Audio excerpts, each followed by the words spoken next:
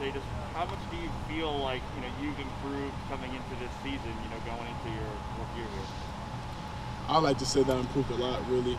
Uh, just becoming a better leader, uh, more mature mindset, and pushing everyone to get better. I know that you know you you know somebody who came in, you guys have you know, put on a lot of weight since you've gotten here. Like, do you feel physically like you're the best you've been? Yes, I do. I, f- I physically feel that um, I'm in the best shape that I've been. Really, uh, weight-wise, I don't really feel a difference. I feel like my speed is increased and everything.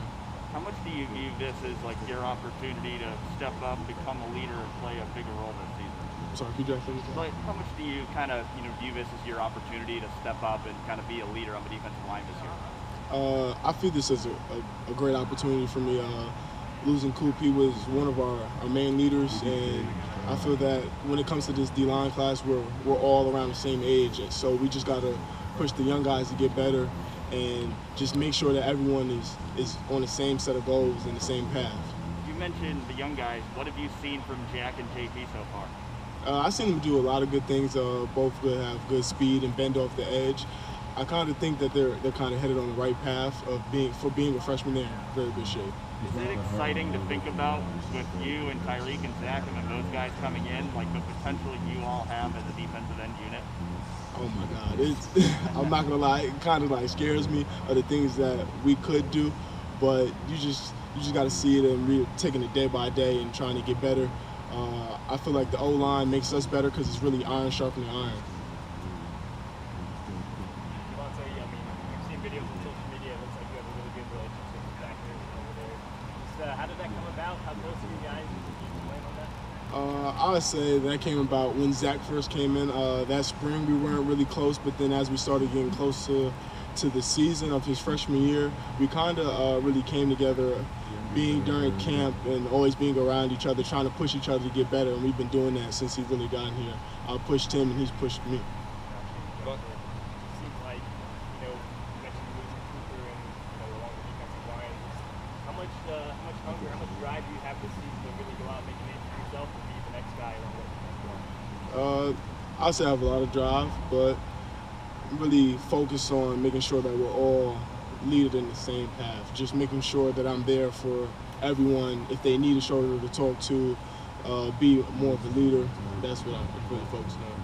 I maybe about a week ago, we were in to watch a little bit of practice, and you got to be the guy in the huddle right before the team went out and talked. That caught my eye because you've never seemed to me like the most vocal guy on this team.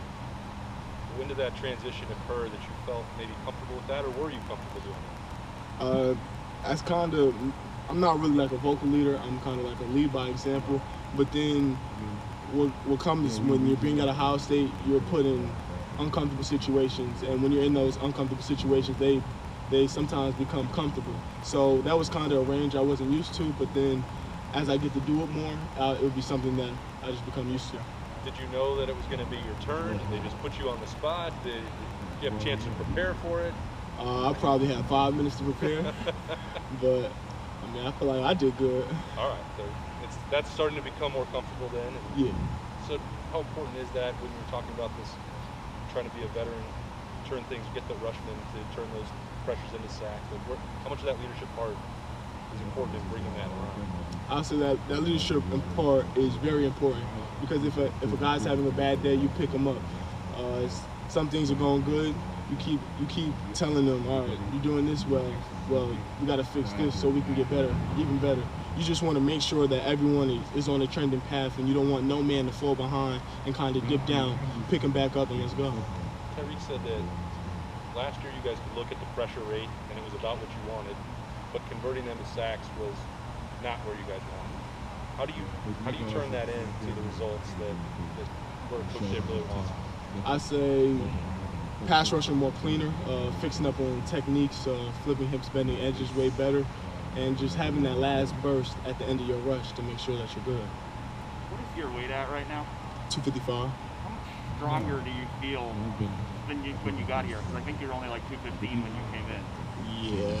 Uh, I feel much stronger. Uh, being when I came in as a freshman, trying to play defensive end and setting the edge on like Isaiah Prince, it kind of wasn't good. But then, like where I am now, I can feel that like this is this is where I am, and this is how much stronger I've gotten.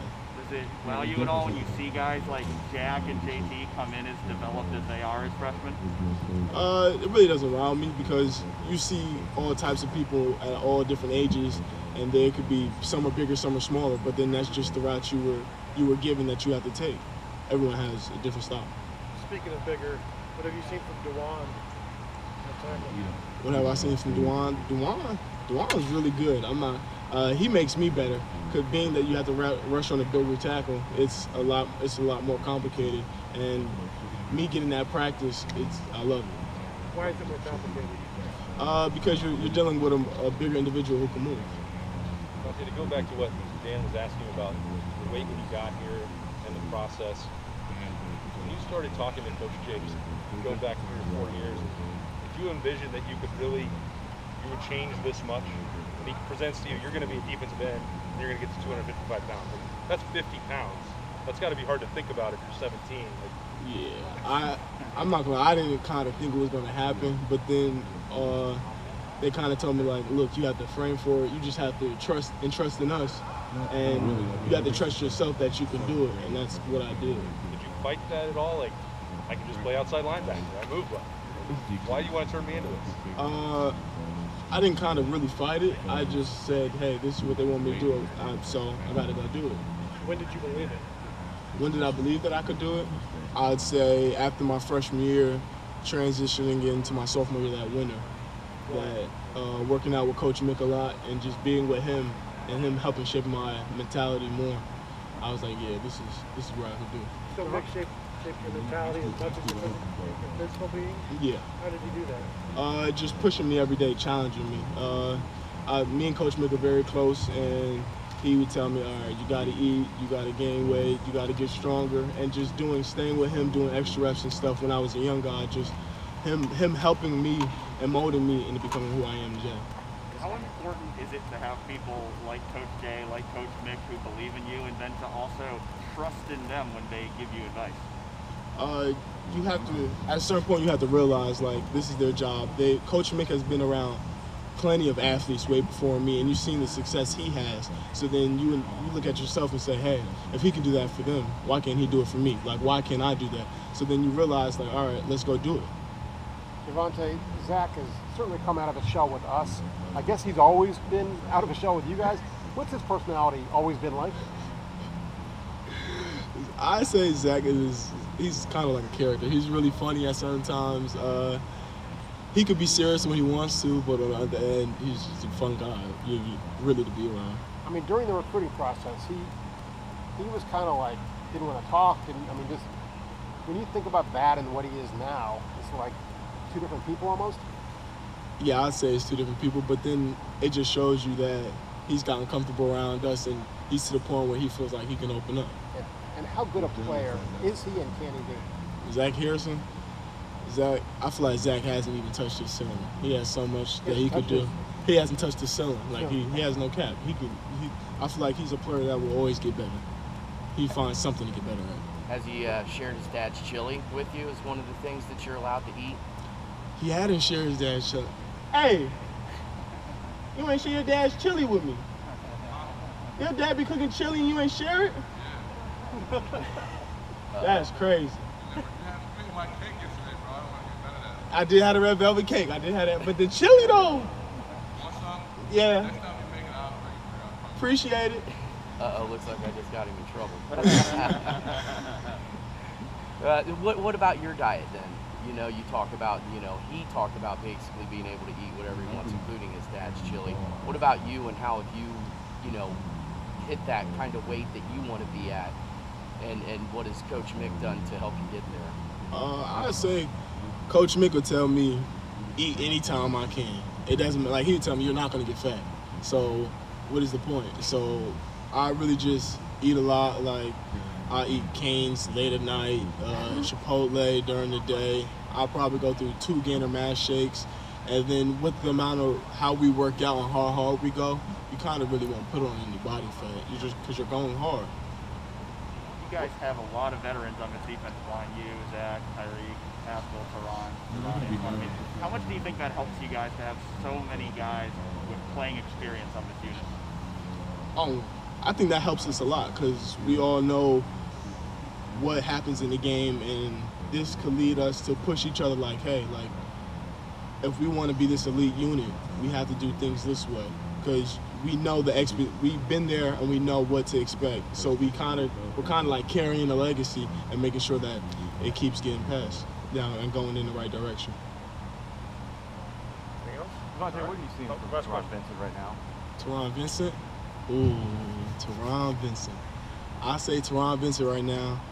He's in he's he's in peak performance right now. I feel like I feel like Taron is is in is in some good shape right now, and he's looking very good to me. Well, what, what does peak performance mean? Like, what have you seen from him that could set him apart? I mean, Taron Vincent, he can he can move. For him to be that size, his hips are good. He has a great first step. Larry said that they've been cross-training Haskell and Taron to potentially play together. What do you think that could bring to your defensive line if they're both on the field at the same time? Mm, I'd say that could bring a lot of versatility, really, just to have them moving around, so you constantly don't know which who's going to be on what side. Right. So you know you don't know who's necessarily the nose tackle, who's the free tackle. Mm-hmm. It can cause confusion. What's uh, what's Taron's attitude bring you guys? I say Taron's attitude it helps bring some more energy. It, it brings a, a kind of like a little meaner side out of you that you need. It's that little edge you need in football. He makes you meaner. Yeah, but he's. do that? I mean, it's just him. It's who he is. I can't. I can't really explain. it. It's just being around him and knowing him. He said he's always happy, even when he had the injuries. He was like upbeat. Is that the way he's always been? Yeah, Then how does he make you meaner? I'd say how because he pushes you in that like he's he's a, a happy guy, but he pushes you in the direction like, hey, come on, like we gotta we gotta be more physical, like you gotta go play harder. So then that that chip, that turns on a chip on the other edge, like let's go. Have you ever seen him get down because of the injuries? Hmm? Have you ever seen him get down because of the injuries? No. Yeah, I mean, recently it's been, we have been doing All right. Thank you, Javontae. Thanks, Devontae. Appreciate it.